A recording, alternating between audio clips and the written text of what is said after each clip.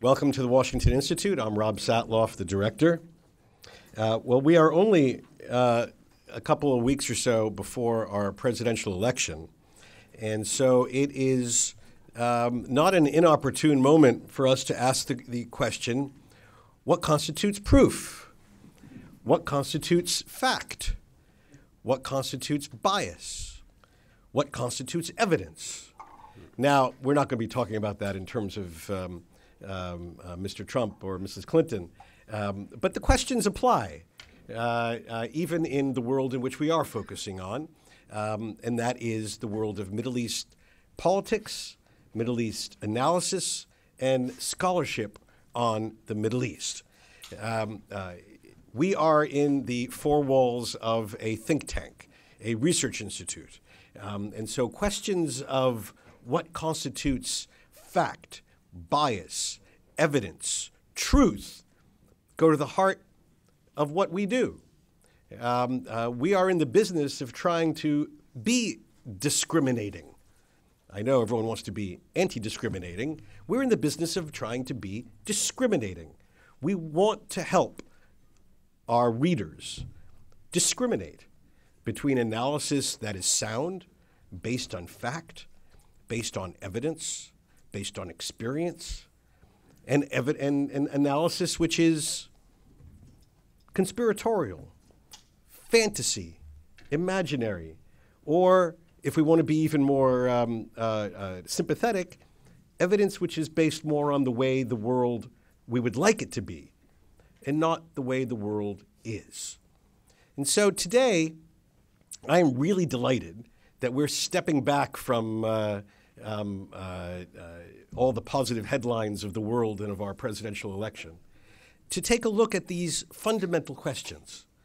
Um, uh, and we're doing that in the context of celebrating, for the second time this week, we don't get to do this too much at the Institute, but celebrating uh, the new book that is being published by um, a colleague of ours here at the Institute, and that is Martin Kramer's um, uh, uh, whimsically and aptly titled The War on Error Israel, Islam, and the Middle East.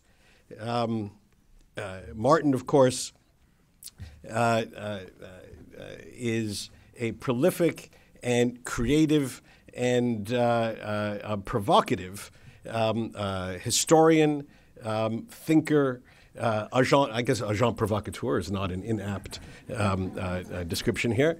Um, uh, uh, in the world, in that connection where Middle East studies hits Middle East policymaking, he's been doing, he's been living at that nexus for for many years now. we at the Institute were proud 15 years ago to publish. Um, uh, uh, one of the best selling of all of our publications, uh, which is Ivory Towers on Sand, um, which took a, um, uh, uh, um, a real close look at um, um, uh, the innards of teaching Middle East policy and Middle East, uh, Middle East studies more generally here at American Academe. And I think, in retrospect, from 15 years, probably had um, uh, um, uh, as much positive influence in that realm as anything we have published having an influence on any realm um, uh, and very proud of that publication. Uh, Martin has been associated with this institute um, for many years. Um, uh, uh he was for years our, uh, Wexler Fromer Fellow, um, uh, and then he went off um, to become the founding president of Shalem College in Jerusalem, Israel's um, first and I, th- I, think only liberal arts college. Um, uh, uh, he has, uh, um, even more successfully than helping to found it, he is completing his five year term scandal free, which is uh, no small achievement. Um, uh, uh, in, in any realm, you know, academe, politics, you name it. Um, and uh, he is now uh, able to have the, uh, the time to refocus his energies on, on producing um, such, such wonderful um, works as the, war, as the War on Error. Um, uh, uh, it's a collection of Martin's uh, essays um, um, on well a variety of topics. He's going to explain a little bit more in a moment, um, but I, I, heartily recommend this um, as an antidote toward, toward some of the facile analysis, um, the superficial reporting, um, the misrepresentation, um, and he hits all sides. Martin spares no victims in this. And in this, I guess Martin is. Uh, um, I'm not going to say you're the Baghdadi of, uh, um, of uh, Middle East uh, analysts, but you spare no victims. But I'm going to say it anyway. There you go. Um, now, uh, uh, but this would not be a, a useful event if all we had was Martin presenting um, his views. And so we're really delighted to have this fantastic panel of, uh, um, uh, of um, Middle East expertise um, to offer their impressions, their views, their observations um, uh, on the substance and on the general topic of, uh, of evidence, bias, um, and truth in Middle East studies and Middle East analysis. And so joining Martin today, sitting on his left, is Benny Morris. And uh, if uh, I think it's fair to say that uh, um, uh, that um, uh, Benny is to Israeli historians what Martin did to Middle East studies. He helped blow it up um, and dramatically changed um, the field in the course of, of his very important um, historical work.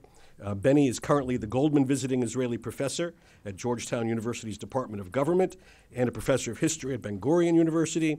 Um, I think he's well known to this specialist audience as the author of 10 books, including The Birth of the Palestinian Refugee Problem and 1948, A History of the First Arab Israeli War. Um, uh, he, um, uh, his interests are, are, are wide and varied. He's currently completing a book on Turkey's relation with Christian minorities in the late Ottoman and the early Republican periods. I'm really delighted that you're with us today, Benny. And sitting to Benny's left is Hussein Ibish. Uh, Hussein is a senior resident scholar at the Arab Gulf States Institute here in Washington, um, a columnist for The National out, um, out of UAE, um, uh, a monthly contributing writer for the New York Times International, um, uh, and an extraordinarily active player in the, uh, the important world of um, social media um, on the Middle East, but not just on the Middle East. Um, uh, uh, Hussein um, is the author of What's Wrong with the One State Agenda, um, a very important theme and a very important book. He holds a doctorate in comparative literature from UMass, um, and he has a very powerful and eloquent voice on all the issues that we're talking about today. And I'm quite delighted that you're with us as well, Hussein. Thank you. I, have been looking forward to this event for quite some time. Uh, I'm really delighted that you're all three with us. And so I'll turn the floor over um, to Martin.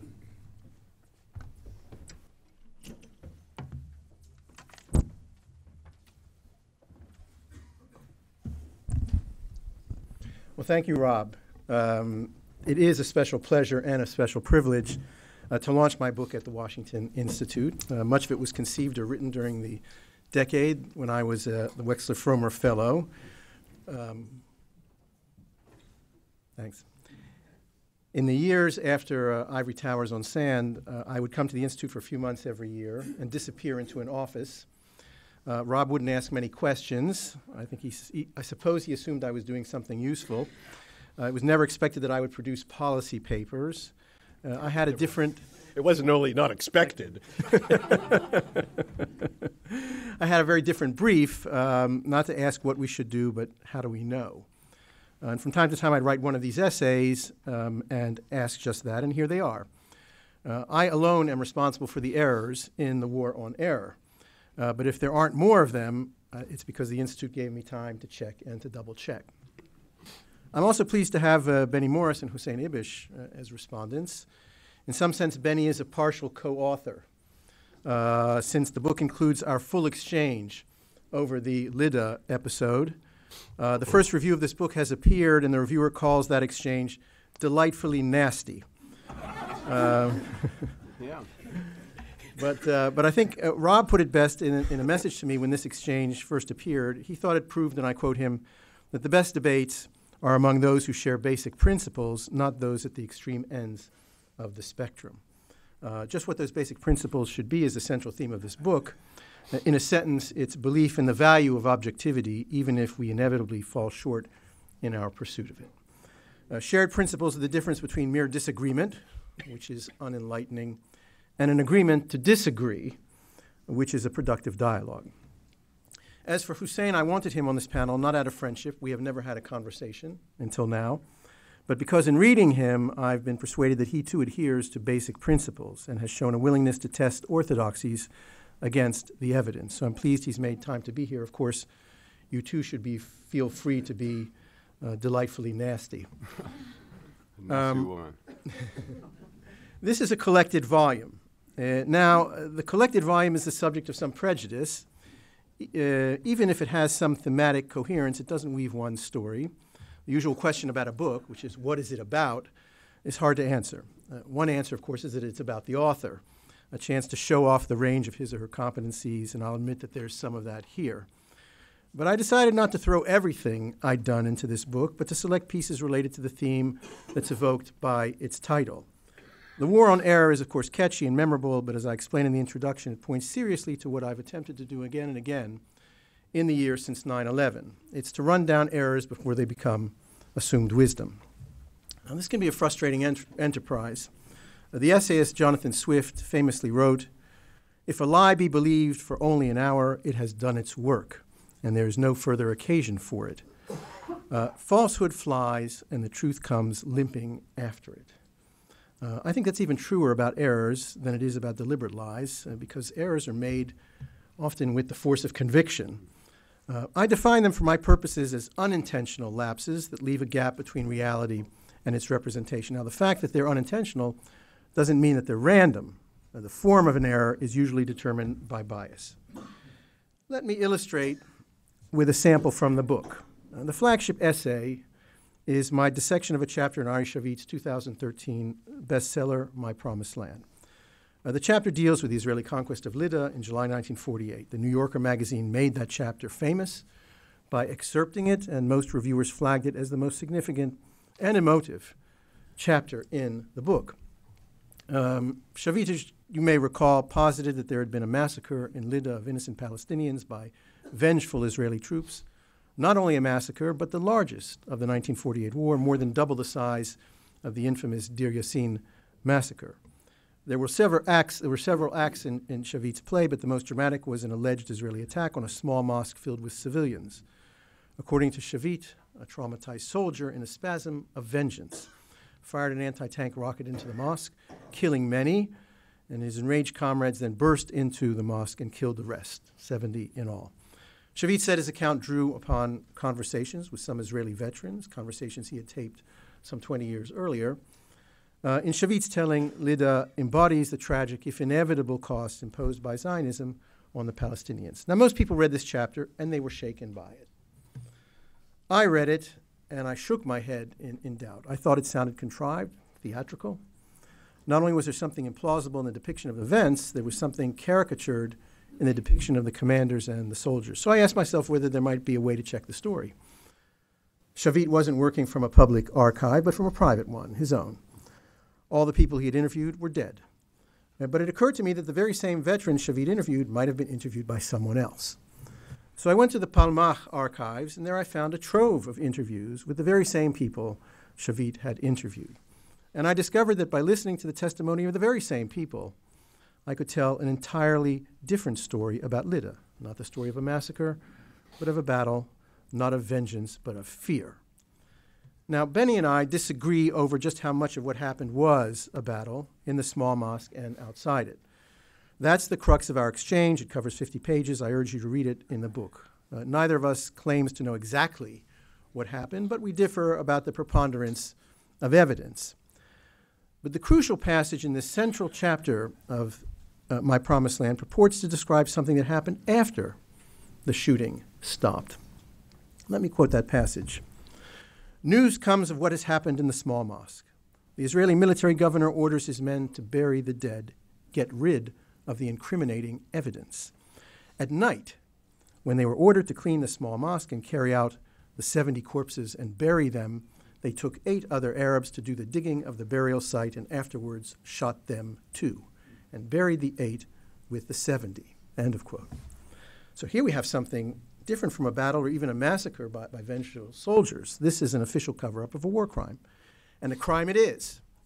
For the evidence, the bodies are themselves incriminating. They must be secreted away under the cover of darkness. And so aware are the criminals of the magnitude of their crime that they commit yet another one to cover it up. And that second crime, the deliberate murder of those forced to bury their brethren, evokes nothing less than the Holocaust. Now, thousands of people read this passage and shuddered. I read it and doubted. If there'd been a battle, not a massacre, why would such a criminal cover up have been necessary? So I began to pull at the threads of this story, and as I pulled, it began to fray badly. Above all, there was the lifelong Arab inhabitant of Lydda, one Faik Abu Manna, who lived through the fall of the city as a young man of 20. He claimed to have participated with a brother and a cousin in a 10 man detail ordered by the Israelis to remove the bodies from the mosque. This is what he said in a 2003 interview, one of many interviews he gave over the years, and I quote him. They said to go to the mosque and take the corpses out from there. We couldn't lift the corpses by hand. We brought bags and put the corpses in the bags, on the bags. We lifted them onto a truck. We gathered everyone in the cemetery. They said burn. We burned everyone. End of quote. So Abu Manna obviously survived this grim task, and there's even a photo of him, I link to it in the book, in the Lydda cemetery, pointing to the place where he claimed the bodies were burned to ash. According to Abu Manna's wife, all those who participated in the detail were sent to a prison camp and later were released. In the essay, I cite uh, English language memoirs by two other natives of Lydda who report hearing accounts from members of the same detail after they were released by the Israelis. So, from these sources, and these happen to be Palestinian, an entirely different story emerges. There's no dead of night cover up, there's just a cleanup. If Abu Manna is to be believed, there was nothing surreptitious about it. There was a giant bonfire in the cemetery, which he described as five meters high. And the local Arabs who were made to do it, they didn't end up in a mass grave. They went off to a prisoner camp under Red Cross supervision and later retailed their story after their release. So, the most charged passage in the most charged chapter of the most widely read book on Israel since Tom Friedman's From Beirut to Jerusalem is easily unraveled. This, in a book praised by an esteemed historian as free of even the slightest trace of fiction. Now, I don't claim to know exactly what happened then, but I know one thing that did happen now. Someone settled for a simple story when a bit more work would have turned up a complex one. That doesn't just happen. The simple story served a specific narrative purpose, and it worked. And the proof is that of all the book's readers, only I doubted it. Now, what's significant about this example isn't what it says about the events of July 12, 1948. If that were the only issue, only historians would care. And it's not about the author, whose inner motives are interesting but not newsworthy. Its significance lies in what this story reveals about the book's mostly Jewish American readers, what they want to believe, and what they're prepared to believe about Israel. Once upon a time, they gave credence to tales of Israeli grit in Leon Uris's Exodus. Now they give credence to tales of Israeli guilt in Ari Shavit's My Promised Land. And that's no small transformation with large implications for the present. The Middle East is a real place, but it is also a place of fantasy, where things are said to have happened because we need them to have happened, to fill out the stories we want to tell us about ourselves and about others. In the other 24 chapters of my book, I show that this is true for academics, journalists, filmmakers, writers, and policymakers. I'm, I'm especially disappointed by academics, probably because I am one. I wrote that book 15 years ago, and one of five parts of this volume is devoted to how my colleagues threw out the shared principles I mentioned earlier. But let's leave them aside. The question, what do we really know, how do we know it, is the indispensable prelude to the question of what to do, which is a policy question. Now, in the fast moving practical world of policy, the how do we know it question is often elided until some policy fails, and only then we discover what we thought we knew wasn't true at all. Uh, I won't recite all the famous instances uh, weapons of mass destruction in Iraq, Baghdadi's JV team uh, come readily to mind. Sometimes special bureaucracies are established to ferret out the source of specific errors. The 9 11 Commission in this country, the Chilcot Inquiry in Britain, and so on. Most of these end up at the same place. The evidence was filtered and distorted by a bias, and that bias, because of a breakdown, went unchecked. Consider, for example, a small instance, Chapter 17. It's about uh, Chuck Hagel in his days as senator. Uh, Hagel was, at that time, a very fervent believer in linkage, which is a Middle Eastern domino theory. Basic premise As goes the Israeli Palestinian conflict, so goes the region. Hagel, when pressed on the limits of his thesis, insisted that he was only repeating what Arab leaders told him. But as I show, courtesy of WikiLeaks, Palestine hardly came up at all in Hagel's meetings with those leaders. Instead, his Arab interlocutors warned him about Iran, Iraq, the Shiite Crescent, and even about the stability of the Assad regime. This well before the Arab Spring. Now, my point isn't to pillory uh, Chuck Hagel, who may have changed his mind later on these issues. But at the time, he was exemplary of a much larger group of people who weaved an Israeli centric narrative about the Middle East, about linkage, and then filtered out contradictory evidence. And that had consequences. Linkage proved to be a major diversion from a focus on far more dangerous and destabilizing conflicts in the Middle East. So while diplomats fiddled with the peace process, a large part of the Arab world came undone. And no one had the presence of mind to develop a strategy to prevent it. Of course, it's not the only reason things unraveled. I discussed them in other chapters. But linkage came with a huge opportunity cost, and the region pays it daily. Uh, the book is also a cautionary warning against a certain way of telling stories, the analogy. Uh, an analogy is a projection of the familiar onto the unfamiliar. Uh, it's not the same as a comparison, which measures two familiar things against one another. In chapter 5, I discussed the debate over the phrase Islamic fundamentalism, against which everyone from Bernard Lewis to John Esposito warned, but which still gained wide currency. For Americans, of course, fundamentalism evoked an aspect of American Christianity. And although it's been largely replaced with Islamism, that's a term with its own problems, it predisposed us to underestimation. Islamofascism, discussed in chapter 7, is another analogy. As a sweeping statement, it too was misleading although ISIL has uh, made me think the better of it, at least as a basis for a comparison. And then, of course, there is the Arab Spring, which was an analogy to Europe. As I argue in chapter 16, it concealed the depth of the Arab crisis. Chapter 25 is entitled Gaza is Auschwitz. And there I suggest that the very absurdity of this analogy is meant to make lesser misleading analogies somehow tenable. Uh, recently, two distinguished scholars have argued that the president should have a council of historical advisors, uh, which would mine analogies for insights. Well, why bother? Presidents and their aides mine history for analogies all the time. Uh, they're drawn to analogy exactly when the analysis is weak. Uh, and that's the real problem. And if I may use a metaphor, such a council would be like substituting a shiny walker for a cane for someone who might walk unaided with proper rehab. Um, so let me wrap up. I entitled my book The War on Error. Perhaps I should have called it The Global War on Error. Hmm. Uh, every capital, every agency of government, every think tank and university wages its own war on error. And those who rise to the top do so by winning important battles in that war. those who sink to the bottom end up there by losing them. And it's my own war, too. I'm, I'm painfully aware that I'm not free of bias or immune to the errors that it might produce. So, my hopes for this book uh, are modest. First, hope everyone who bought Shavit's book will buy mine. um,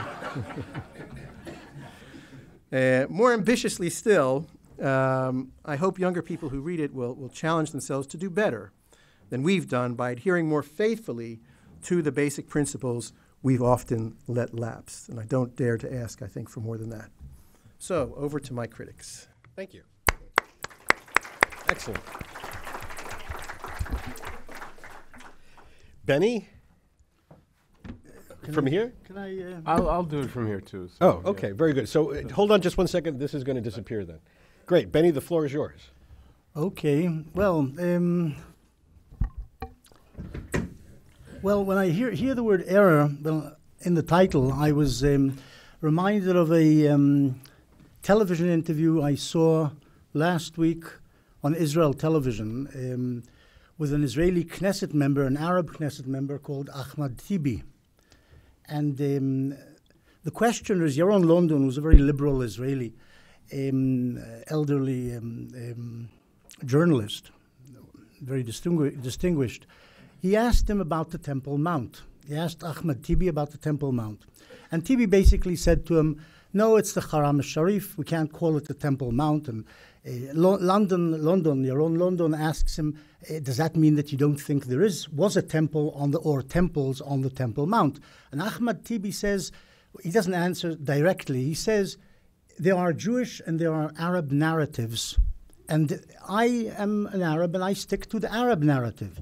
The Arab narrative, of course, was laid out by um, none other, more or less, maybe it was preceded, I'm sure, by others, but by Yasser Arafat in 2000 and subsequently, uh, that there were no Jewish temples in Jerusalem or on the Temple Mount. It's a purely holy uh, Islamic site. And Tibi was following in his footsteps in this um, uh, effort to bypass the question, um, finesse the question. Um, and I, I, think it's indicative. Tibi is a, a, a, medical doctor, uh, presumably studied in the university medicine. Um, uh, he, he, he should have been among the more uh, enlightened and even forthright. He's very forthright in almost every subject, but when it comes to the history of Palestine and the history of Jerusalem, he's much less than forthright. I think there's sufficient archaeological and other evidence, Josephus and God, God, knows what, to, sh- to prove that there was a temple or there were Jewish temples on the Temple Mount before the destruction by Babylonians, Romans, and so on. Um, and these are established historical facts.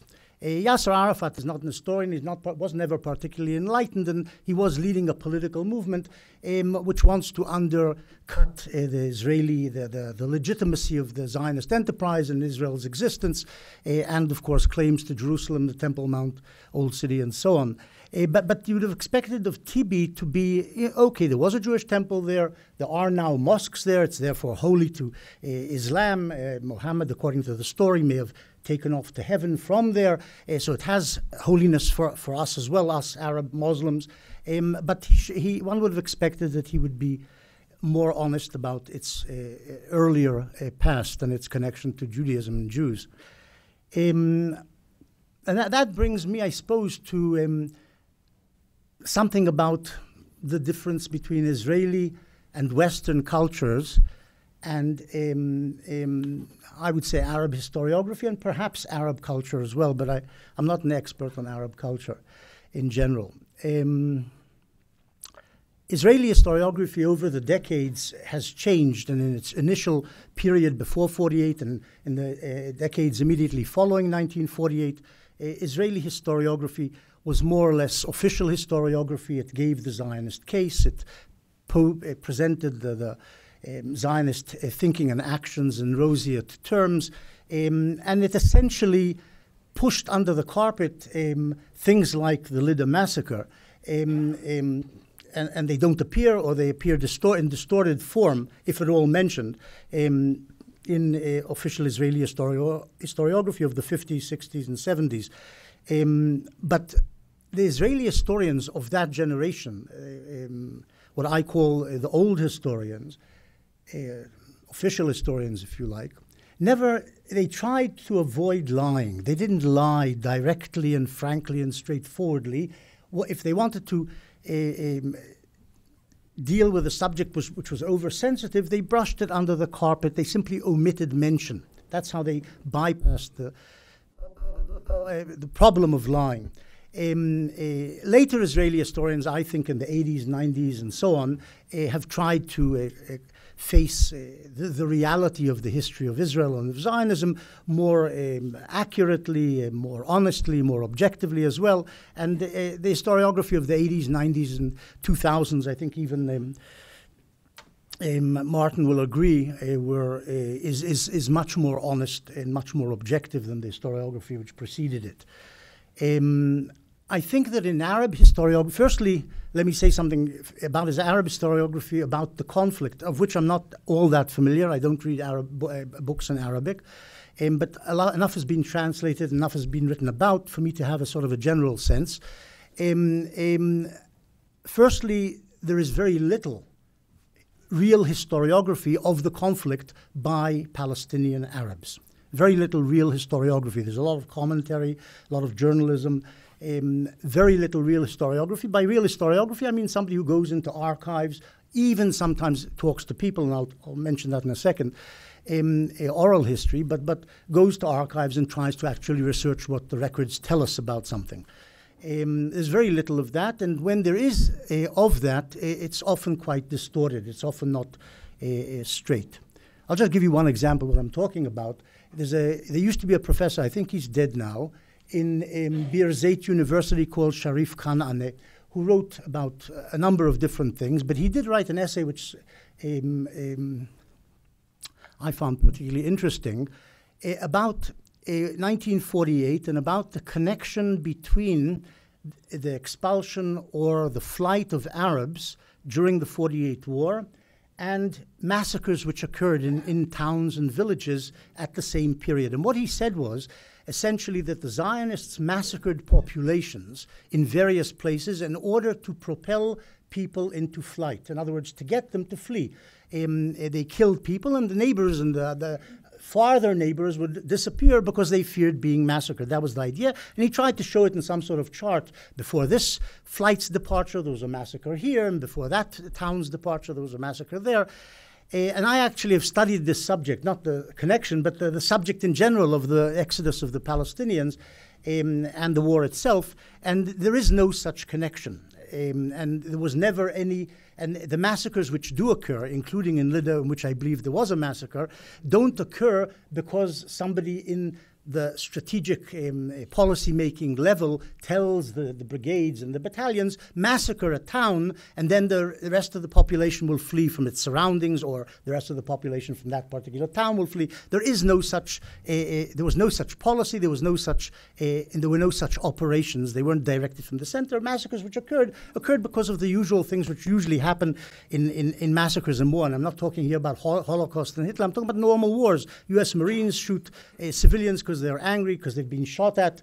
Uh, British troops uh, shoot German prisoners of war because they don't like Germans. They've been seeing their people dying around them because of the Germans and so on. These things happen in war. This is what happens in war. And such were the massacres in 48. Some of them were committed by Arabs. Israel committed more massacres in 48 because it was much stronger and actually conquered 400 Arab villages, and the Arabs conquered practically no Israeli villages. So it's a matter of also possibilities. But there was no policy of massacre, and in fact, it was uh, at least uh, condemned. Massacres were condemned by the higher ups, even if punishment was not meted out to the actual perpetrators on the Israeli side. It's an interesting question in itself, but uh, it certainly wasn't directed from the center and is not part of a policy. But this, this is typical of Arab historiography of the conflict and of the 48 war. That things don't happen, as, as some, you mentioned, conspiracy theories. It's all to do with understanding things. Not things don't happen of themselves. Things are always part of a conspiracy, part of direction from on top. When real historians know that lots of things actually happen because they just happen. That's how how, how human beings function. Um, I wanted to say one more word, and then I'll. Um, um, and that, that's about oral history and um, um, history based on documentation and archives. Um, I've seen it written, I think, by Walid, um, Rashid Khalidi, a prominent Palestinian historian who teaches in Columbia, um, that Palestinian historiography of necessity is based in large measure on oral history. In other words, on interviews with children and grandchildren of people who were there. If you can actually get to the grandfather before he dies, you interview him. But it has to be based on that because the Palestinians produced no state papers, no real uh, um, uh, archives in the course of their uh, history. And, and, and there's no reason not to rely on oral history because that's it, people telling what happened. You can rely on them and believe in them and so on. And it's as, as acceptable as documentation. This is the argument. Um, and a, a, lot of Palestinian or pro-Palestinian books are actually based on, uh, in large measure, if not completely, on oral history. Um, my, I was uh, trained and brought up to believe in documents. I know that documents occasionally lie. People who write documents make mistakes. They have self, various interests they want to serve sometimes when they write the documents. But given all that, documents contemporary documents from the period something happens or process takes place are by far preferable to interviews made 20, 30, 40, 50 years after the event with people who are either doddering or have good political axes to grind and certainly can't remember. Somebody once tried to interview, interview me, I remember, a year after the Beirut, the siege of Beirut in 1982, and I couldn't remember, and I'm a trained historian, I couldn't remember the sequences, sequence of events in Beirut. Did the PLO depart first, or was Bashir Gemayel murdered uh, before that? I just couldn't remember for a few minutes uh, what the sequence was. And um, so what I'm saying is people 30, 40, 50 years after the event you cannot rely on what they say. It doesn't mean that it's completely untrue. It, they could be telling you the truth, but you don't really know, and the chances are they don't remember very well a lot of what happened. Um, um, um, that, that, that's all I wanted to say. Oh. Okay. Thank you very much, Benny. Uh, Hussein, the floor is yours. Thank you. Um, it's great to be here. I really appreciate the invitation. Um, I was very interested uh, in Martin's book. And um, I'd like to just give my overall kind of response to it um, in general. It's there's a, a passage uh, in which you say uh, that until now, in that particular essay, you've been more descriptive than prescriptive, and I think that's true of a lot of this book. But I, I think what's really interesting about it is that it's kind of performative rather than descriptive or prescriptive in the sense that you lay out a series of problems with um, scholarship and commentary, and then you kind of go ahead and demonstrate what they look like by kind of doing them. Uh, and it, if I can summarize it, it's sort of a polemic against polemics. And that's where it, it gets into an interesting sort of self referential, um, I would say, uh, reinforcing circle. And I'll try to explain what I mean by that. Um, there's nothing wrong with polemics, and there's nothing wrong with a polemic against a polemic. But it, it's interesting uh, to see that you, you know, describe a series of uh, problems and then uh, do fall victim to many of them yourself. Uh, and uh, that is where I think the book becomes really you know, valuable and interesting in a funny sense. Um, so, how does a polemic? How does this polemic work? I mean, you you have a model of about how biases uh, operate, but I'd like to suggest that one of the um, choices that a writer makes that gives a work its quality as a polemic is choice of topics, right? I mean, the uh, errors or egregious mistakes um, or what have you uh, that you target, and for the most part, you make a good case, uh, all sort of lead to a very specific kind of outcome. In other words, there is a there's a political agenda here, and uh, it's, it's supportive of the uh, received uh, Israeli narrative. And th- there's nothing wrong with that, but it means that you make certain choices. And that itself, I think, um, is a kind of a polemical act, right? You're not, you're not uh, an equal opportunity critic. You're looking for things to criticize that will strengthen a point of view that you want to strengthen. And I, there's nothing wrong with it, but um, it does uh, produce a certain result. Um, the methodology would be much the same uh, applied to other uh, topics that maybe didn't produce that result. So let me give you an example. Um, there's a, a nice uh, essay on uh, problems, and I don't think you exhaust them because they're even deeper than uh, th- than you have time to go into. Uh, with uh, analogies between Israeli behavior and policy and Nazism, right? Gaza is, is Auschwitz, is the, is the name of your chapter, and, and it's good. Um, what's fascinating reading it is that um, there's so much said uh, and done uh, in the in the same spirit with the same kind of analogy directed towards um, Palestinians. Right? Um, there's a tremendous sort of history of comparing Palestinians to Nazis, linking Palestinians to Nazis, blaming Palestinians for the Holocaust, all kinds of stuff, um, and it's not there in your essay. Now, you, you can say, well, what a silly critique. You're saying I wrote the essay I wanted to write, not the essay you wanted me to write. right? That would be the response to me, I think. Uh, and that's, that's true. But what I'm trying to demonstrate is that you might have picked a, uh, either a different topic or expanded your frame of reference, right? In where you would have ended up with a uh, either a different takeaway or a broader kind of critique of the way error propagates itself. But when you uh, limit critique of the introduction of the Nazi analogy to uh, only those instances where it's leveled against Israel and not where it's leveled by Israelis uh, towards the other side, and you end up producing a certain effect, right? Uh, and as I say, there's nothing wrong with it, but it, it should be noted.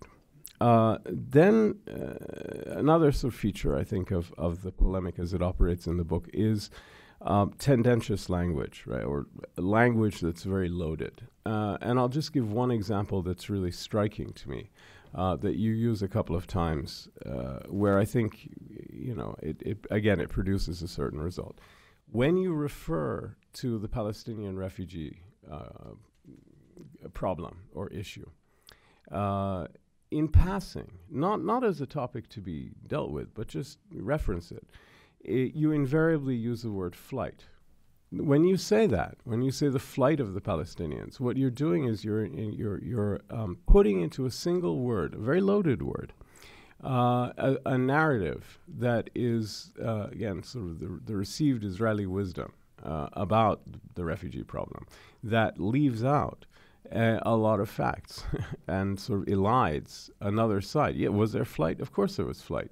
Were there other important factors? Yes, there were. The word flight elides some of those other realities, and and being tendentious in that way, uh, again, becomes a polemic, and and I think a polemic of the kind that you rightly criticize. So again, it's interesting to see that performative aspect going on.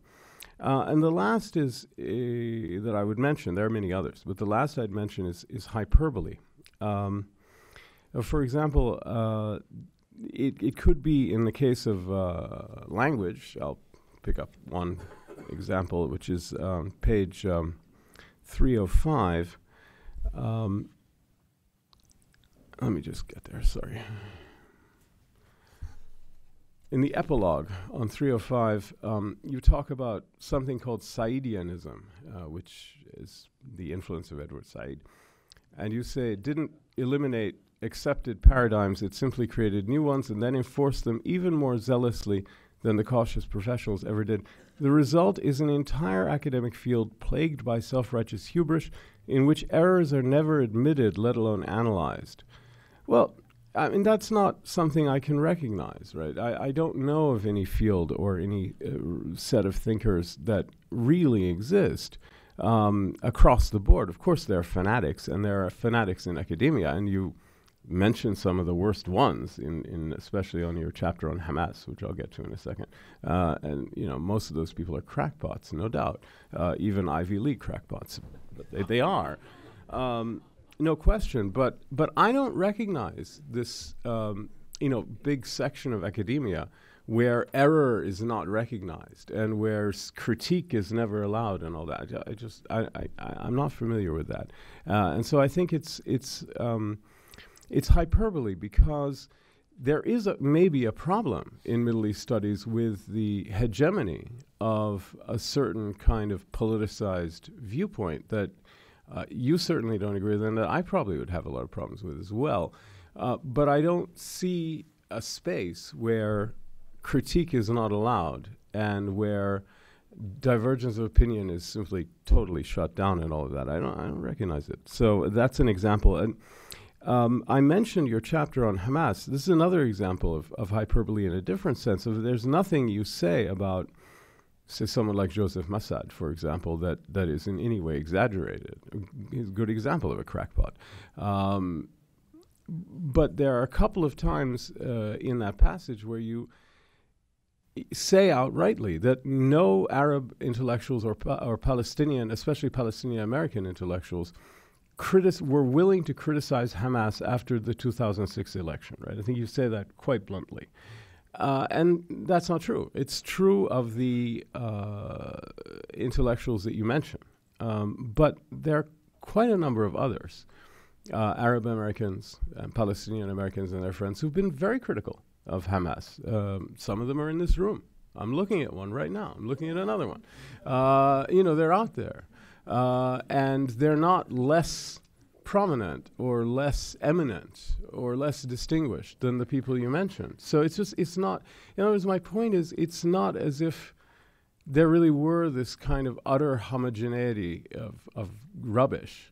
Uh, there's a, uh, a heavy dose of rubbish, but it, it's not it's not complete hegemony of nonsense. Okay, so that's that's a kind of I think that's a kind of hyperbole that I think is um, is performative. Um, now, I'd like to uh, suggest a couple of things about um, better scholarship, uh, and my, these are my own ideas. Um, I don't I don't know if truth is the right word, but let's say um, at least something that I think is defensible and um, and leads to better outcomes. Um, the first is an element of self-critique. I think I think the first path to wisdom in in a polemical setting, uh, and I mainly write polemics too, so I'm not against it. Um, but the first thing one has to do is to interrogate really ruthlessly what you believe yourself and what started you, what motivated you in the first place to get engaged. Um, and I think you have to be very honest uh, about what's right and what's wrong with the received wisdom or, or with ideas that you've cherished for a long time. And if you stop questioning uh, and stop interrogating your beliefs, you're, you're pretty much sunk. So that's the first thing. That, that would allow you to come back uh, to. Um, uh, to the critique that you make of other positions in a much stronger way. Dave Myers of UCLA and I have been doing this at a practical level um, in a series of lectures we've been giving, mainly on the West Coast, uh, but also elsewhere, on the history of uh, the development of Palestinian nationalism and Zionism read with and against each other. And what we do is we kind of begin by critiquing our own narratives, and then we come back to our critique of the others. And, um, and it ends up in a much, much stronger uh, more serious uh, discourse. And in fact, we discover that we disagree on very, very little once we make that leap of uh, honesty with ourselves. And that's very important. Um, the uh, next thing, uh, apart from honesty and openness, which, and I think you can tell when a thinker is really being self-critical and honest and open, and when when they're hedging and you know trying to make a point rather than um, investigate an idea. I, I think it comes through. I, I don't believe I've ever been totally bamboozled by someone who was um, just manipulating me. Uh, maybe I have, but I don't think so. Um, beyond that, there's one other kind of benchmark that I think is very useful, and I'd like to mention, which is to mistrust everything that up that has that initially appeals to you. So in other words, if it if it um, seems to reinforce your affiliations or identifications, mistrust it. Right? If it feeds your outrage and your anger, mistrust it. If it sounds too good to be true, I'm sure it's false. Uh, you know, uh, if it reinforces received wisdom, mistrust it right? Subject all of that. Th- I mean, those are red flags, right? Those are those are screaming. Uh, they, they ought to be screaming alerts that that um, the information or views that you're encountering are problematic if they're having that effect on you. Uh, it doesn't mean they're wrong, but it means you have to be very very careful about them. Um, so the last thing I'd like to do is is um, say about the book that it's it's also very interesting because even though it's a, a series of essays. And uh, D.A. Miller of UC Berkeley is, talks about how um, in the academy, the worst thing you can say about um, a book is it's a collection of essays, and the best thing you can say about an essay is that it's a short book. Uh, he, he, I agree with him. He sides with the David essay versus the Goliath book, and I do too. So when I call it, you know, a book of essays, I'm not. It's that's not a criticism. I like that. I think it's better um, in many ways. Um, it, it makes it a bit uneven, perhaps, but I, I, I think you still have a coherent narrative throughout, right? You, you, you tell a story. There's a story here. And the story has um, a hero, that's Bernard Lewis, he's the hero, and a villain, that's Edward Said, who's the villain. And um, there's a, a, kind of, uh, there's even a MacGuffin, right, for those of you who know Hitchcock. Uh, and the MacGuffin is, is the book Orientalism. Um, the, uh, I think the portraits that you paint, both of Lewis and Said, are kind of, for me, they're caricatures. Uh, because I think that Lewis, while he achieved a lot and has written some truly great books, also there's a side of him that uh, where he, he could be really a pamphleteer, where he could be just pushing a point of view that um, is is, is instrument politically instrumental in a in a kind of obvious way. I mean, his position towards the Armenian genocide, just to take one sort of marginal issue, I think is an example of that. Um, so uh, Lewis in a white hat doesn't appeal to me. Said in a black hat, I think again is is very problematic because while uh, Said was a much better critic than he was a political thinker. Uh, the legacy of Said's work, it seems to me, uh, is uh, mixed and by no means entirely uh, bad. Um, and uh, in particular, I think the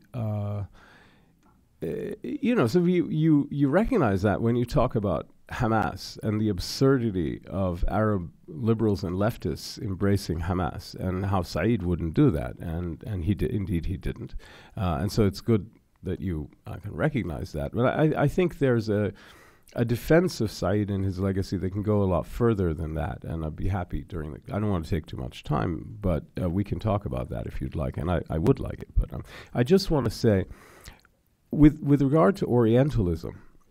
Um, you attack it primarily because of its impact on Middle East studies, which is fine. I'm not I'm not going to dispute your uh, evaluation of that. I just just there are two things though. One is it had a huge impact, I would argue, because there was something in it. many of the details may have been wrong, and, and I think were.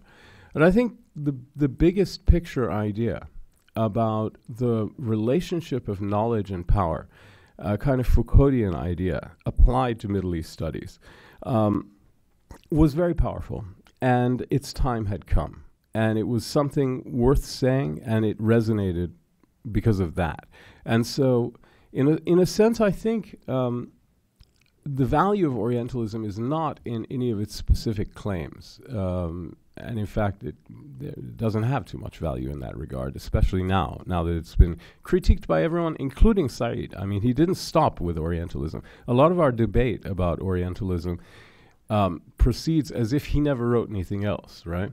And that's not true. He, he came back into Orientalism revisited, and he wrote stuff that was worse, like Culture and Imperialism, and stuff that was much, much better, uh, like um, some of his later uh, critical, uh, literary critical work but it's it's important, I think, to recognize where, at least among academics, Orientalism derived its power and still has some lasting merit. This is the last thing I'm going to say, which is its uh, its virtue so far as it's there, and the, its power insofar as it has any, and I think it does have some, is a methodological one, right? It, it the the, the uh, piece of Orientalism that remains powerful and influential is the introduction not the text. The te- I mean, you throw out the text, no problem. But the introduction remains significant. And it was, I think, the introduction that gave it its force. So, what does the introduction do? Well, I mean, it, it, it certainly it, it presents this critique of, of uh, the Orientalist tradition, but that's very confused. There are at least four different definitions, many of, in, in many ways contradictory, of what Orientalism is in that little introductory essay alone. Forget about the rest of the book. So it's very confused. But what he does do is it takes a Foucauldian methodology and marries it with a humanist um, sort of uh, sensibility, critical sensibility. And it doesn't work at all, but it's a fascinating experiment, right? And he had to give up on, on Foucault's approach and go back to humanism entirely after that because it doesn't work. Um, but I think one of the things that, that happened with Orientalism is that there were a lot of American scholars, especially on the left, who had been Marxists or would have been Marxists until that point in the in the mid to late 70s, who were looking for an alternative that would be oppositional and critical and all that, but that but that recognized the kind of collapse of Marxian discourse. And along came Said to show Americans and, and other English speaking people how French critical theory can be applied by anybody. In other words, it sort of got people reading Foucault and others and saying, This is great, but I couldn't do that. Along comes Said and says, It's easy, here's how it's done. Now, whatever its virtue, whatever its, its um, success or failure, it showed a whole generation of scholars how to use French critical theory at a practical level in their own work. And, and I think that had a huge impact and uh, is not to be underestimated. Okay, very good. Thank you very much. Excellent. Uh, Martin, would you like to uh, make any uh, uh, responses to the responses? I could do it briefly. I'd like to open to Yeah. a wider to a wider audience, um, and certainly lots of topics have been raised here, which would require much more time uh, to elaborate than we, we have at our disposal here. Um, so let me plead guilty to a few of the charges, and then uh, make the case that um, uh, that um, my sentence should be short. Some of them are compliments. yes, and I appreciate that. Um, I have written um, a book which was inspired by the things which moved me. And there are no secrets here about who I am. The president of a liberal arts college in Jerusalem, obviously born American, so I made the decision to be where I am. Um, and so in my case, there's no, there's no instance here of uh, concealed motive. Um, um, and there's certainly, it is certainly true that my curiosity has always been drawn to those instances where, um, where I feel that the choices I made would perhaps be somehow less legitimate if these claims were, were true. That's a predilection. I say in the book that everyone is, is affected by bias, and I am not an exception. And I also, in one point in the book, actually expressly plead guilty to being something of a polemicist. Yep. There is a passage where I discuss the criticisms of my book, Ivory Towers on Sand. And I go through some of the criticisms, not all of them I think are valid. But then I come to one that I thought was the most valid. So the most valid criticism is that I committed the same sins as Orientalism. Right? That is, I cherry picked my evidence and tied it up in a polemical passage. I plead guilty to some of that.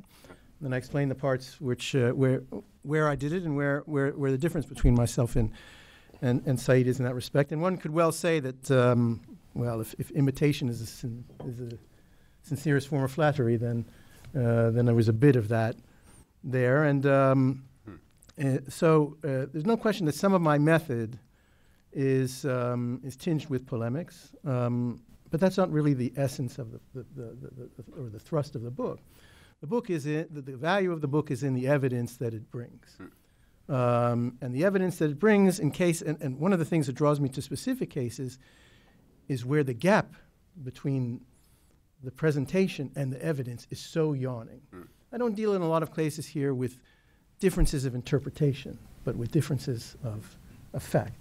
And as Benny said, um, and I think that's perhaps one of the shared principles that we would, Yeah. we would say there is such a thing.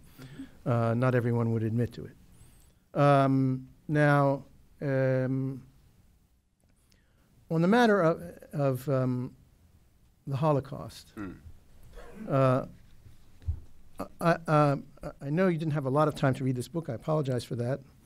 Um, but at the very end of that chapter, I, I wrote the following. And I talk about the problem with this analogy, but then I go on and say um, one prescription might be to remove Nazi analogies altogether from currency in regard to Israel. The late Elie Wiesel called comparisons of Nazi Germany with Iran unacceptable. Iran is a danger, he said, but to claim that it is creating a second Auschwitz, I compare nothing to the Holocaust. And then I go on to say if the Holocaust is indeed a unique event in human history, and if Nazi Germany is unparalleled as a nexus of absolute evil, then promiscuously invoking them to make some political point in the present should be rejected across the board. Right. You Uh, say that. So I did say that, and I think that, I, I hope that answers It's helpful. your concern. yeah. Yeah. Oh, definitely. Um, on the flight of the Palestinians, well, um, Benny and I also went back and forth on this. He called me an expulsion denier at one point in this exchange. Um, and, um, and, and, and, and I think that there, I, I, I again, uh, I'll just quote what I said. Um, um, I will state my view more plainly for his benefit. I said, on July 12th, we're talking about Lydda, which was the most obvious case of expulsion. After the aborted Palestinian uprising in Lydda, an order came down from on high, just on how high is debated, to expel the Arab inhabitants. There were many thousands on the road out of Lydda already. They didn't wait for an expulsion order. And this is exactly the point Benny has made. It was a mixture of flight and expulsion. Mm-hmm.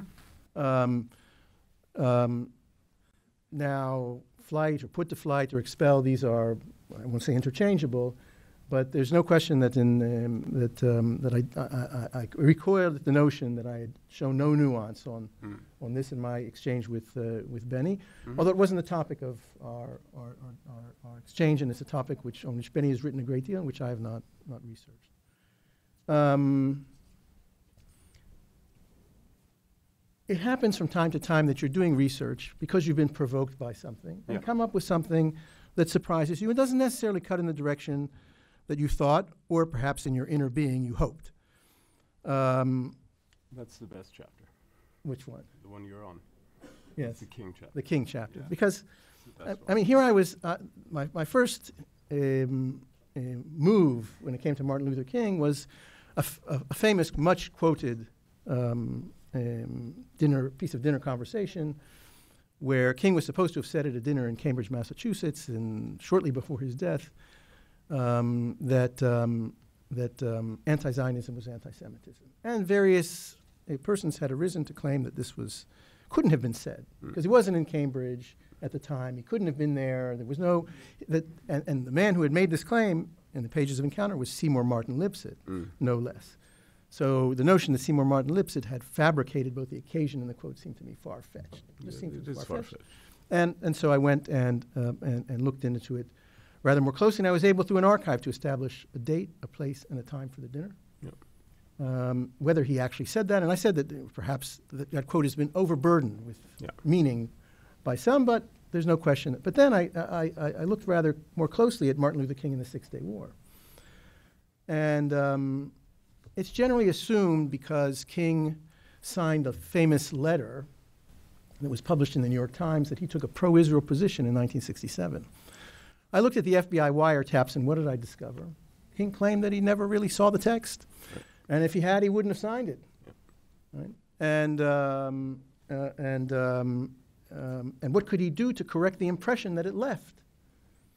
Uh, now, to this day, I think even Palestinian Arabs have held against him, some of them, this, the fact that he signed this letter. They do. Yes, not knowing, in fact, the real story behind it. I bring the story here. Mhm. Uh, not only that, I re- resurrected a passage from, um, from a quote that he made on television, Yeah. uh, where he told said about um, that it would probably be necessary. This is King. Probably be necessary for Israel to give up this conquered territory because to hold it will only exacerbate the tensions and deepen the bitterness of the Arabs. Mhm. And then I go on to say, it is remarkable that this last sentence does not figure in the latter day polemics over King and Israel, Yeah. even though King spoke it on national television, because it clarifies King's position, which Yeah. it is. uh, Now, who didn't pick up on this quote? Who am I providing it to? Those who Yeah. want to make Yeah. the contrary case. So I do think that there are. Oh, that's that. That's an exemplary chapter. I mean, that chapter meets all of my criteria and and more. It's fantastic. So um, um, I'll just say, uh, just by way of conclusion, when it comes to Bernard Lewis uh, and Edward Said, this is this these are bits these are snippets here. You have to go back to my piece on Yeah. my chapter called Said's Splash and the Ivory, cover, Ivory Towers on Sand. That's a much more thorough and in-depth Mm. uh, treatment. And by the way, if you want n- my nuance in my interpretation of Bernard Lewis, there's the essay I did in Mosaic magazine, I think um, on the back in May on the occasion of his 100th birthday where I go into some depth as to why Bernard changed his views on many issues, Mm. um, uh, sometimes to my surprise Mm. uh, and to the surprise of others, and what I think uh, motivated him. In the course of an 80 year career, one is entitled to one to occasional change Oh, of views and even an epiphany from time to time. Um, and uh, I hope I introduced some measure of, uh, of nuance there. It's not in this volume, but the next time I do a collected volume, it'll be there. Great, excellent. Thank you very much.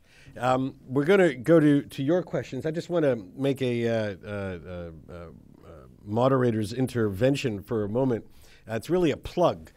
Um, it's not a plug for the book or for Washington Institute publications. It's a plug for um, uh, archives in the Arab world. Um, I think, Benny, you quite rightly um, had a critique of uh, much of the historiography out of Arab societies, Arab countries um, um, over the past 25, 30 years. I think in the last decade, um, uh, uh, there has been um, maybe a little bit more than a decade, there's been uh, quite an opening of archives, certainly the availability of archives. Um, I myself have worked in three national archives in Arab countries, in Jordan and Tunisia and in Morocco. Um, the Tunisian archive is the most um, up to date, modern, um, high tech archive that I've ever worked in. Um, it was certainly much more modern than the National Archives of the United States or uh, the Public Record Office in, uh, uh in, the, in the, UK. Um, uh, and um, uh, there are increasing numbers of local scholars who are doing it, working there. I do think, um, uh, um, as an observation, I'll say, I think what has restricted a lot of use of these archives is less so much the curiosity of the historians than the political environment in which they live. Mm. Frankly, uh, there, there are very few countries, certainly before five years ago, and even till today, where um, a good, solid hist- um, young historian can go in to work in their national archive and come out still with an objective history um, from that period, mm-hmm. especially if um, uh, um, uh, uh, the son, grandson, great grandson of, uh, of somebody from, uh, from that period is still a key player in the politics of that country today. Um, it's just the, the regrettable political reality in, uh, in a lot of these countries. But there is, I, I think there is progress here. And so I did want to make a plug. Um, uh, um, these archives are, are, open generally, generally available, and uh, uh, hopefully there are a lot more people who are taking advantage of this. Um, um, uh, and I'll also note that is, uh, is, there anybody else in the room besides me who was present at the great Lewis Said debate in uh, in Baltimore in 1985? I was there. You were there. The two of us were there. Okay. Well, great. Well, then uh, see, we, we will have to give an oral history about uh, uh, about this someday. All right. we'll turn the floor over to your questions and comments, um, Mr. Feith. If you could wait. Oh, do we need a mic? No. We don't need the mic. Go ahead. thank you for that discussion. Um, I read the Kramer Morris exchange uh, about Lydda when it was first published. And we've dis- you've been discussing here not simply error, but kind of bad forms of argumentation. And one category of bad forms of argumentation is is when you challenge motives. You know, it's kind of an, an ad hominem type argument. And I just want to make the point since the, the reference to, I think it was the delightful nastiness you were mm-hmm. talking about. It's a very Trumpian comment. the, the, when I read the exchange between the two of you, it struck me as uh, one of the uh, one of the finest examples of serious dispute about historical evidence that I had read anywhere. Mm-hmm. I mean, it's superb. I actually copied it and distributed it to my kids as an example of a perfect clash of smart people over how to interpret evidence from the historical record. What marred it was that you attacked each other's motives. Mm. And I found the nastiness not delightful. I mean, it was completely unnecessary. You could have been the best of friends and had the same debate. And the, you know, the, I would just make make the point that the the dispute had absolutely nothing to do with you know, with, with motives. Yeah. And uh, I mean, what you were basically doing is is taking uh, taking testimony and physical evidence and saying a reasonable inference from this was And then somebody said, well, you know, another reasonable inference would be, you know, something else. That was terrific. But the whole idea of, of mixing in a, uh, you know, personal, you know, motives and an, an, attack like that was completely unnecessary.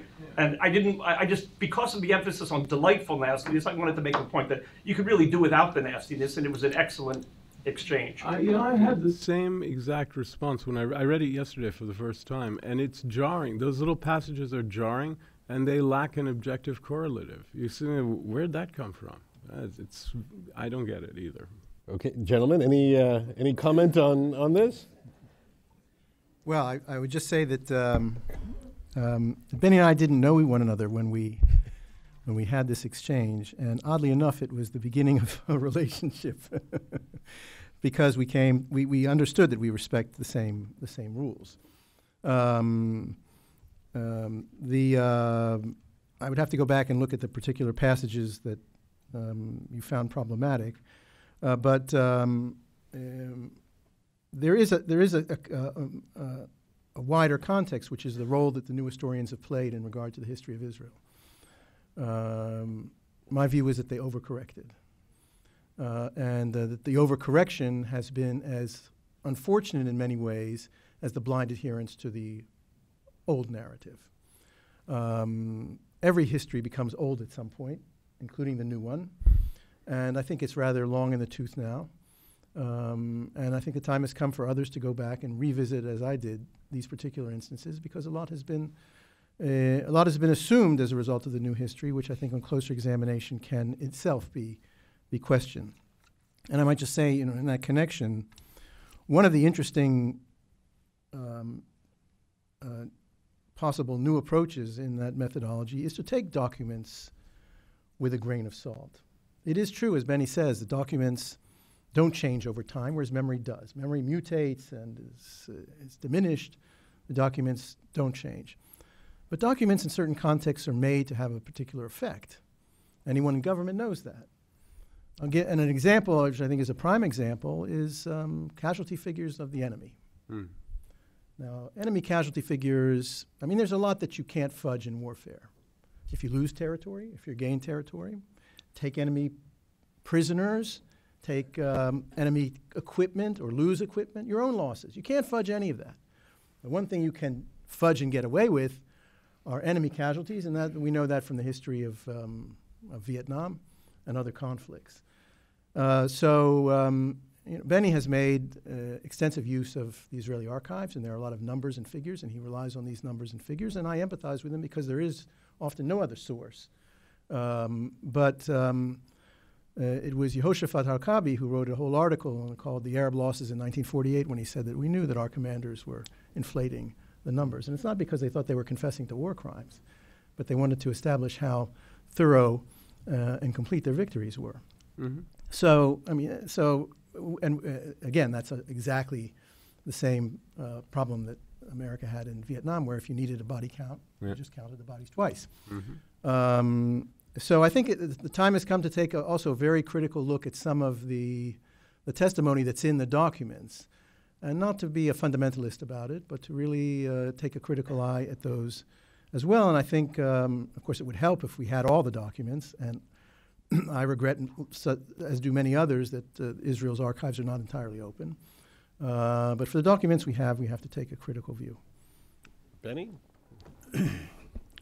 um, one observation about um, the documentation produced, I would say, by Israel today and documentation produced by Israelis in 1948, and it's this that uh, and and I think Israelis were fairly unusual in that, certainly in the Western world, where states had been established long before, and historians had been using documents for many years before 1945 or 1939. There's a tradition of use of documents, and politicians and uh, officials knowing that what they say and write will is recorded and will be used by historians later.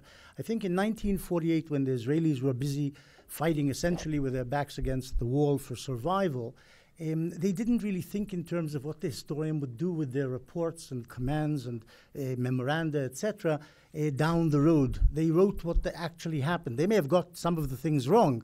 Uh, they wrote something happened which didn't happen, and occasionally there's some self flattery or something in presenting how somebody functioned in a particular battle. But, but essentially, they were writing to report the truth of, as they knew it to superiors or from superiors down the chain of command. And so the documents, I think, are much more honest. What was produced in Israel in 1948 will be much more honest than documents produced today. In fact, I'm told by officials they also don't put a lot of things down today on the, in documents because because they know that and things are left to uh, so chat, you know, chats in the passageways, uh, real decision making or real uh, analysis of things, and um, um, what's put in the document is pro forma rather than truth. Mm-hmm. Um, so, so that's important about the document. So, in a sense, you were disparaging the documents from 1948. I, I put a lot of trust in what, what they say. I think um, um, uh, Martin's referring to is one particular Palmach document, the strike force of the Haganah and then of the IDF. Um, in July 1948 regarding Lydda, in which uh, it says that 250 townspeople were killed in Lydda um, uh, on the 12th of uh, July, the day of the massacre. Um, um, I more or less accept that. Uh, they may not have counted all the bodies, but and they may not have counted them accurately, but but that's probably a good ballpark park figure from their point of view of how many people were killed there, and from that you can deduce that most of them were civilians and so on uh, um, from the circumstances. But that, that that's that's um, um, another a different problem. Uh, but um, that, that's as, rela- uh, as re- relates to the documents. Israeli historians in the 50s, 60s, and 70s, and also today, are enmeshed in a political uh, situation. And much of what they write, or certainly what they were writing in the 50s, 60s, and 70s, uh, was linked to their views, political views, right left. Essentially, it splits right left, but also vis a vis the world uh, at large and what the world at large would do with what they were writing and how that might affect Israel and so on. Um, and the same, in, uh, unfortunately, still applies in some way. Mm. And um, um, I think this is what um, uh, Hussein was saying about Martin's book in general, that it pushes a particular political agenda in a sense. And um, I, I, have to sort of agree with that. And I think I made that clear in our exchange on Lydda. There's something political about the way you write the the view, the things, the analysis and the, the facts of what happened in Lydda, it's in some way connected to to a, a political outlook. Mm-hmm. Um, I personally have tried, and I think I've tried, and I think I've tried honestly to stay away from politics and my own politics and write the history as the documents tell it. And that's part of the reason I don't look at oral uh, testimony, interviews, and so on, what the documents tell me, I think that's what happened. Uh, if the documents are insufficient, they're insufficient, and the story won't be good enough or uh, comprehensive enough or accurate enough. But but mm. uh, um, um, that's as related to that. That's one of my criticisms of the Shavit book mm. and of um, Martin's treatment uh, of Lydda, is that it's essentially based on testimony. Testimony which Shavit doesn't even tell you who he actually interviewed and when he interviewed them. He just, you have to rely on his telling that that's what he was told. You don't know anything about the, the interviews at all, if they actually even took place. You don't know. Because he says, I interviewed people many years ago, and he doesn't give you the names. And when you have a passage, a particular passage in, the, in his book about a certain event in Lydda on a certain, you don't know who, who's, who he's quoting. He doesn't, he doesn't tell you. There's no footnotes. So you have to rely on him completely. Um, um, Martin gives you the, the, the quotes, but they're all uh, and, and the citations and the references from where they are, what interview. But again, interviews taken 20, 30 years ago by people who've maybe refreshed their memories. They've forgotten things and also refreshed them in relation to various uh, colleagues, in relation to various events since 1948. So, so there's a problem there in principle. Um, and what, what I think might emerge from our dialogue about it. There is probably a valuable input from interviews, though I'm not sure how you exactly can assess how valuable it is. But you can see that there's a sort of a clash of somebody who's documentary based and somebody who's based on interviews. There's an interview based. Um, and uh, as I said that uh, in my introduction, I, I, unfortunately was brought up to believe in documents. Okay, very interesting. Um, uh, so let's take uh, a couple of comments um, from from the audience, uh, and then I'll I'll turn back to our panel because we're time is running short. Yes, please. Uh, Thank you. We don't need the mic, so go ahead. Thank you. I'm Leon Weintraub, uh, Foreign Service retired. I'd like to ask a question, Mr. Ibish. In your opening uh, remarks, you said that, that the author was pretty strong on refuting the uh, Israelis as Nazis uh, uh, idea out there, but not the Palestinians as Nazis. Uh, It seems, uh, I'm not a professional historian, but I read a lot of the media and the press. It seems hardly a day goes by where I don't see some mention of Israelis as Nazis. But somehow, I've heard Palestinians and Arabs called a lot of nasty things, but one thing is not Nazis. Where, where is this happening? Where is this? My assumption is that uh, easy. Hussein is referring to uh, the the whole exchange um, by uh, Prime Minister Netanyahu Well- that uh, that that uh, Haj Amin. that Haj Amin was just that. responsible. For. Well, No, not just that. No, I, I, I think it's very easy if you go. I mean, just Google Palestinians and Nazis, and you will find a ton of stuff from the Israeli right and the Jewish American right and um, uh, some of the evangelical Christian right here and whatnot. Uh, going to enormous lengths to compare Palestinians to Nazis, say Nazi, Nazi uh, doctrine created Palestinian nationalism, that uh, you know Palestinian nationalism is a product of Nazism. The, I mean, it's just endless. So uh, you may not encounter it. That's really good, uh, but because it's it's horrible, but it, it is abundant. It's very abundant, and the the Netanyahu uh, Husseini thing is just the tip of the iceberg. Okay. Um, yes, in front here, please. Could you identify yourself? Um, should I stand or? Sure. Uh, I'll sit. Ask. All right. Uh, my name's Brian. I work in Congress, and um, the. Uh, Speak up some mic. Okay. Uh, sorry. The, the first thing that you uh, said, uh, Dr. Kramer, in the beginning uh, was, uh, or a, a principle, the, the belief in uh, the value of objectivity, even if we inevitably fall short of its pursuit, and I presume that's in contradistinction to, um, you know, rhetoric or, or postmodernism. And uh, what is your outlook? And this is for anyone on the panel. What is your outlook for this principle in the future of history as an academic discipline? Actually, it's a good question. So, are we are we on the right path in terms of uh, uh, histo- history as a discipline? Benny, Well, it, it seems to be going in the wrong direction, if that's the way what you're pointing at. Uh, history is uh, going in the wrong direction. That's a very No, pessimistic historio- comment there when you think historiogra- about it. that also is true. The world history appears to be going in the wrong direction, but I'm talking about, I'm talking about historiography. Um, uh, it seems to be going towards an acceptance of what, what Ahmad Tibi calls narratives and historical relativism and so on, um, uh, meaning that facts no longer mean anything and um, uh, you can say whatever you like and it's equally true whether it's true or not true. Um, uh, and that's a problem. Um, but I wanted to say something about the Nazis. Um, unfortunately, there is some. Just, just one second. I, I need to say thank you to Hussein because Hussein needs to. He, no, he's, he's doing a two o'clock event uh, elsewhere.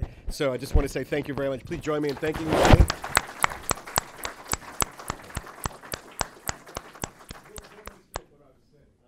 Okay, Benny, you're on. I was actually going to say that there is some connection between, unfortunately, the Palestinian national cause and Nazism, a real connection, not just something cited incorrectly by uh, Netanyahu. And that is that Haj Amin al Husseini did serve the Nazis for four or five years in Berlin, got his wages from uh, the, the um, German Foreign Office, uh, got uh, all sorts of other amenities, did raise troops for the SS, did, did broadcast to the Middle East, a broadcast calling for the destruction of the Jews and so on. That is, that's a fact. And he wasn't alone there. This is something which people don't actually notice.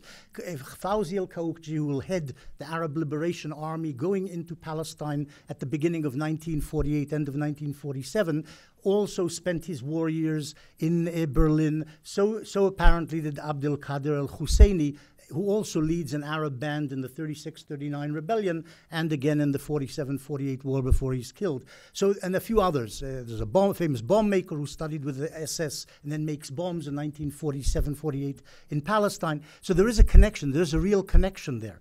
Uh, it's also an ideological connection. Husseini was Haj Amin, the Mufti, the head of the Pal- Palestinian National Movement, was an anti Semite, and he said he basically was an anti Semite. In his articles after 48, wrote that. Um, so there is an ideological connection there as well. Um, but it's true that sometimes people just throw this out, especially uh, Begin and the PLO in 1982 and so on, that the, the, PLO is exactly the same as the Nazis. This is nonsense, but, but, but there is a connection there in the history. Just, just, just on that, only because I've looked at this a bit, it, it, I think that's absolutely correct what you just said. Um, uh, what is the, for me, the interesting debate is how much it affected the broader Arab society. And so I've looked at um, uh, the extent to which whatever these broadcasts were and these editorials coming from Berlin really had an impact outside the universe of Palestine. So if you go from you know Morocco through Egypt, uh, et cetera, and there's extraordinarily little evidence that it had an impact, that nobody was listening to the uh, to uh, Husseini. Uh, uh, the Palestinian issue was a very faraway topic in this time. So it's, it, it, the nuances here actually um, are, are, quite fascinating. Um, uh, yes, sir, please. I'm Dr. Ayas, internal medicine doctor. I'm going to talk about the humanist aspect of what you're talking about, you and Hussein, and the debate. Uh, it reminds me of Mr. Benny Morris, professor. You talked about the Temple Mount and the uh, or Haram Sharif, which is like from the Arab point of view. It reminds me of a statement, like Washington Irving said, temples or pyramids are nothing but sand, uh, because history basically runs its course. Uh, the answer to your uh, question uh, regarding the Arab uh, narrative is basically describing what happened, which is a massacre, uh, and put it in a book, and then to make it like interesting as like a story by itself that lost uh, the truth somewhere between like correcting the mistakes or hiding evidence of a big uh, massacre. It's not the only massacre in history. And then if we go back basically uh, to World War II, uh, one thing comes to my mind was uh, Gandhi wrote a letter to Hitler himself asking him to change his plans on conquering the world, uh, reminding him of the brotherhood of humanity in general. Um, basically we are all mixed. We all have uh, the essence of humanity in us. Um, I, I, apologize, but if, if, there's a question here, you just get to it. My question is, uh, he uh, right away, Mr. Benny Morris, uh, he gave the Arab narrative, answering uh, Mr. Kramer.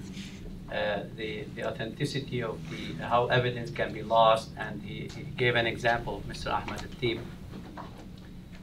uh, my question, there's a lot of Israeli thinkers I, I read and, and moderate thinkers uh, I read to them about what they write and they are moderate and they, they talk about this humanity that we lost uh, in translation between the Jews and the Arabs and the Americans.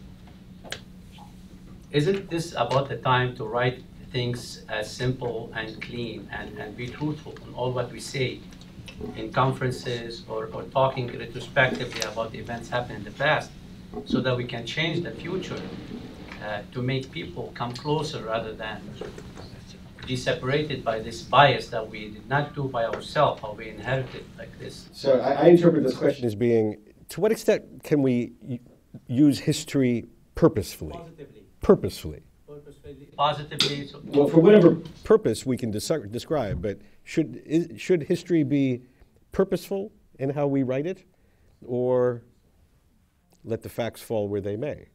And can one really adopt a let the facts fall what they may? Don't we really have a bias in any way in uh, how we do it? Gentlemen? Well, if, if you're asking me, I, I believe one, and as, as Martin said, one should aim for objectivity. I think it's given the amount of documentation that exists in, on, in modern history, on modern history, one can attain quite a lot of truth. Uh, I don't know about objectivity, but truth about what happened. and that's what we should uh, aim for. That's what historians should aim for. Um, it may be right that it's, you know, perfection is, is unattainable in that sense, but uh, it should be aimed for. That should be the aim of historians, and they, they shouldn't subordinate their writing uh, to political purposes. That's people like Ilan Pappé or Ephraim Karsh sub- subordinate their historical writing to political purposes and then distort what they're writing to meet to match those purposes. Um, um, I try not to do that. I think I try not to do that. Martin, final word. Final word. Um, I actually want to a- end on an optimistic note. Uh, Benny was worried that the narrative has pushed um, the search for historical truth aside, and all we have are competing narratives. But I, my sense is, in this country, there's probably never been a moment when there was more reality in the discussion of the Middle East as opposed to narrative than there is today. Now, one of the reasons for that, of course, is that two and a half million Americans in various capacities have been through the Middle East since, uh, uh, since 2003. Uh, add a few of the, con- the hundreds of thousands of contractors, and you have a lot of people who've had a real taste of reality. And Referring to American service people. American service people and contractors and others who have been to the Middle East. I met some myself. They became interested in the Middle East. Some have actually uh, gone into think tanks and the academy. Um, and they're not interested in uh, the narratives. They have a very firm grip on what they perceived as the reality that they experienced. Um, there's this, this old saying that war is God's way to teach Americans geography. Um, I, I would extend that and say war is also God's way of teaching Americans some history. Uh, and so uh, I would say looking out in the longer term, um, because of this, um, the, the boots on the ground and the greater immersion in the Middle East than at any time in, the, in, in, in, in America's past, uh, we're going to get better and better work as we go down the pike. Excellent. An optimistic note. Thank you. Thank you both, Benny, Martin. Thank you all very much for joining us here today.